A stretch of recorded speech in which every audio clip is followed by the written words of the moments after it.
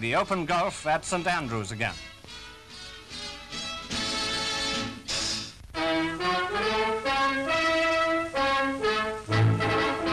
The Minister of Food replies to a question which lots of housewives are anxious to ask him. Mr. Strachey, why has it become necessary to ration bread? Well, the reason we've got to ration bread is because we're short of wheat.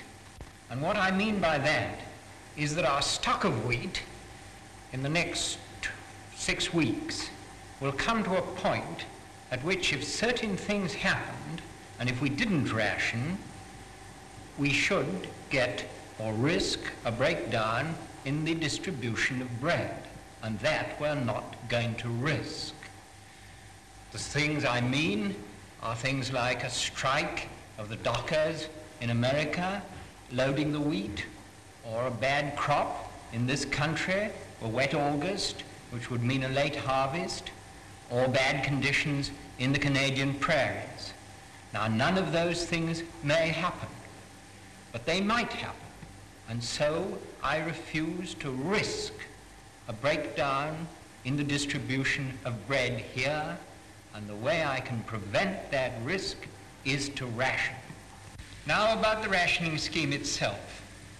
I think people will find that they'll get enough bread, but if they don't, remember that a family can get more bread by sacrificing points. Or vice versa, a family which finds it doesn't need all the ration can get some extra points. So the scheme is flexible.